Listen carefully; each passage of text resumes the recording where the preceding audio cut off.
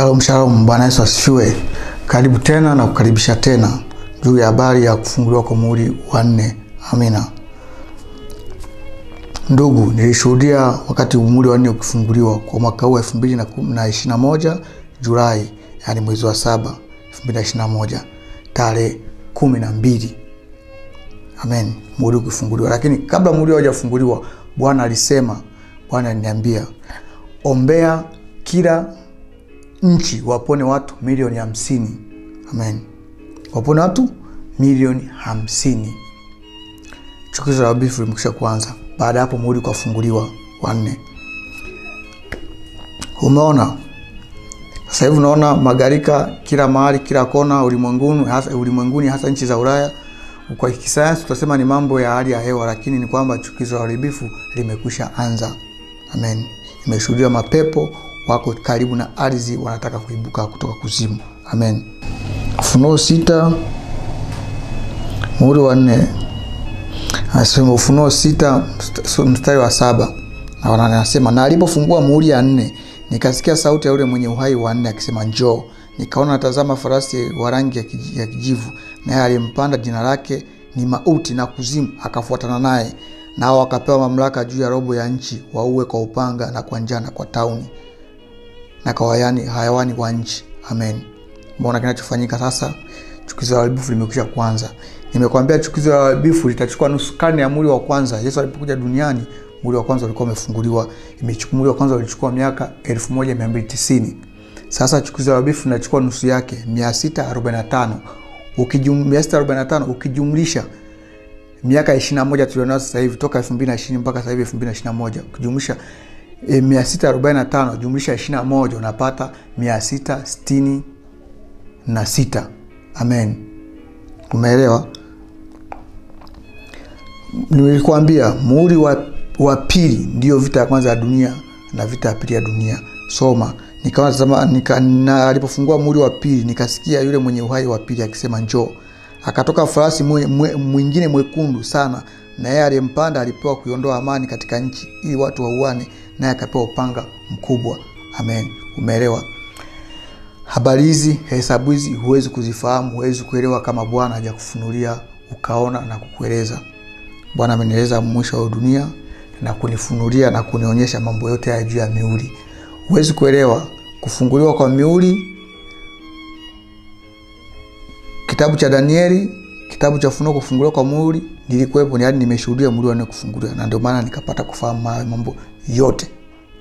Sasa tuko katika muhuri wa nne, chukizo la ubifu limekwisha anza, na nimeambiwa ombea, nami nikawashirikisha watumishi wa Mungu wengi tu, lakini katika uombeaji Bwana anionyesha walioombea ni watu wanne tu.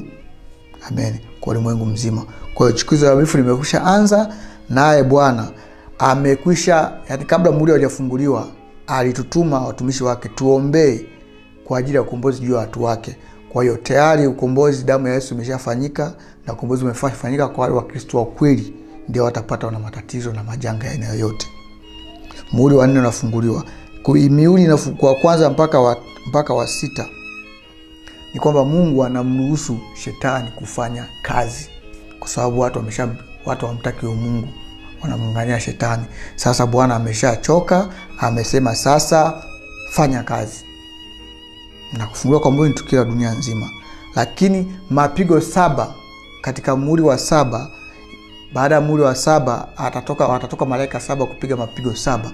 Maanake Mungu sasa ndio anaanza kuyazibu dunia baada ya kunyakua kanisa lake. Sasa Mungu anakuja kuyazibu dunia, wale wakazi wa dunia. Cha ajabu, badala ya kutubu na kuacha matendo ya maovu, watakaa wakimkufuru Mungu na kumtukana. Amen. Kasome kitabu cha Funuo utapata kuelewa. Amina. Habari hizi ukitaka kuzipata zaidi na zaidi kwa, kwa upana zaidi, maana hii ni habari fupi nimekuletea kwa kifupi.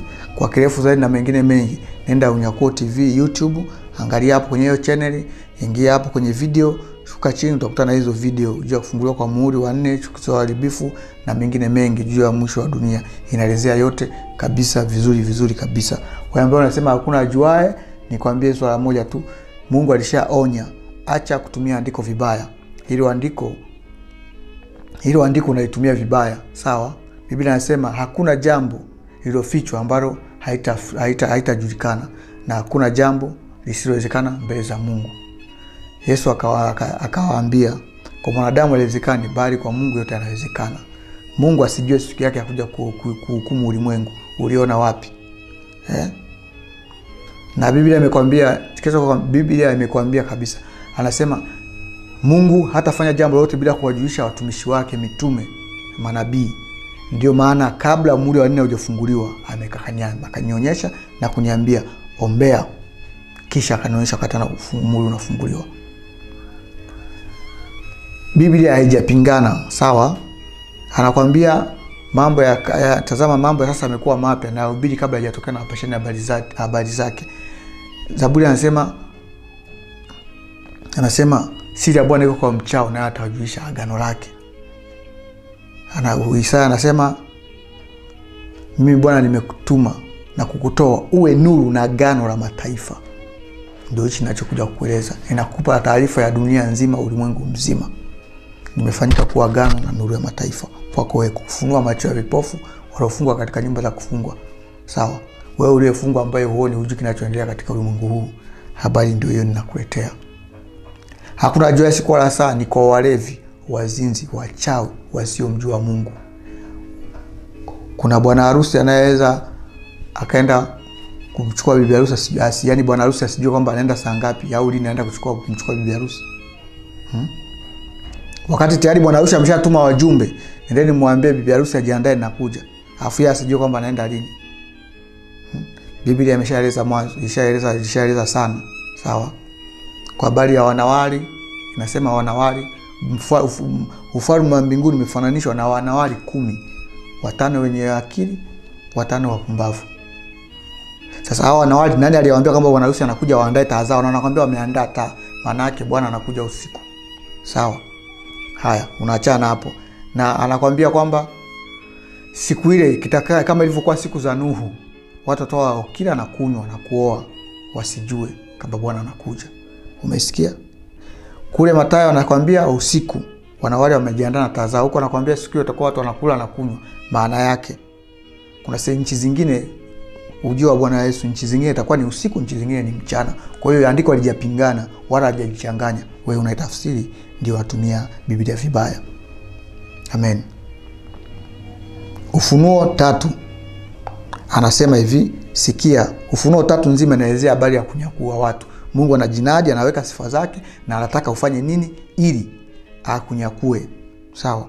Ufunuo tatu anaandika hivi uwe mwenye kukesha ukayaimarishe mambo yaliyosalia yanayotaka kufa. Maana sikuona matendo yako kuwa yametimia mbele za mungu wangu. Basi kumbuka jinsi ulivyopokea na jinsi utakavyosikia. Yashike na utubu lakini usipokesha itakuja kama mwizi wala utajua saa itakayokuja kwako. Umesikia? Umesikia? Anasema uwe uwe mwenye kukesha ukaimarishe. Sawa. Mstari wa kwanza anasema hivi na kwa malaika wa kanisa iliyoko sadi andika haya ndiyo ninaye yeye aliye na hizi roho saba za mungu zina zile nyota saba. Na ajua matendo yako ya kuwa una jina la kuwa hai nawe umekufa. Yaani una jina la kuwa hai nawe umekufa. Anajua matendo yako. Ume, jina lako liko limestahili kuwepo mbinguni. Lakini umekufa kiroho huji chochote. Anakwambia sasa imarisha mambo yako yaliyosalia ukeshe. Uimarishe mambo yako yaliyosalia. Maana hakuna matendo yako kuwa mema hata kimoja ulichokifanya chini ya jua jitahidi kujirekebisha kujirekebisha ili usipojirekebisha yani usipojirekebisha kwa matendo yako ukamrudia mungu kwako wewe sasa utaona atakuja kama mwizi. Maanake kama ni mlevi mchawi mzinzi usipojirekebisha tabia yako ukamrudia mungu na kutafakari neno la mungu na kumtafuta mungu utajua saa ya kuja kwake. Amen. Hili jambo ni fumbo ambayo lilikuwa limefungwa sasa limefunuliwa. Anakwambia mtu, mtu mmoja anasema lakini kila mmoja hupewa ufunuo. Amen. Ufunuo ni kitu ambacho kilifungwa sasa kimefunguliwa. Unaposikia muhuri muhuri tunafahamu muhuri ni ile unagonga uthibitishe kwamba hey, kweli. Unaweza ukawa na document lakini bila muhuri haijathibitisha kwamba ni, ni, ni kweli. Lakini napokuwa na mwili manake imethibitishwa sawa. Unaposikia muhuri manake mungu amethibitisha haya matukio yanayotokea kwamba yatokee. Yaani amempa shetani sasa amemruhusu lakini watu wangu usiwaguse yohana amesema ameona mihuri ikifunguliwa lakini hajaeleza muhuri huo ukoje. Amen. Hajasema muhuri ukoje. Amina. Sasa mimi nataka nikwambie nimeshuhudia kwa macho yangu muhuri jinsi huo ulivyo anaposema unafunguliwa umefunguliwa. Muhuri ule uko kama kitabu. Amen. Huko muhuri ni kama kitabu kikubwa hivi. Sawa. Kinapofunguliwa manake tayari sasa kimesha mambo yaliyopo katika kitabu kile yaliyoandikwa katika muhuri huo yamekwisha ruhusiwa manake bwana ameruhusu. Kama haijafunguliwa haijafunguliwa kitabu cha kijafunguliwa maana yake bwana hajaruhusu. Amen. Biblia imesema sana. Angalia wakorinto wa kwanza sura ya pili. Mstari wa kumi na nne. Basi mwanadamu kwa tabia asili hayapokei mambo ya roho wa mungu. Maana yake maana kwake huyo ni upuzi wala hawezi kufahamu kwa kuwa yatambulikana kwa jinsi ya rohoni. Lakini mtu wa rohoni huyatambua wala yeye atambuli na mtu. Maana ni nani aliyeifahamu nia ya bwana amwelimishe? Amen. Lakini sisi tunayo nia ya kristo. Bwana yesu asifiwe. Nimekupa taarifa hiyo kwa ufupi. Mwenye masikio na asikie kile roho ayaambia makanisa. Mungu akubariki sana. Uwe na siku njema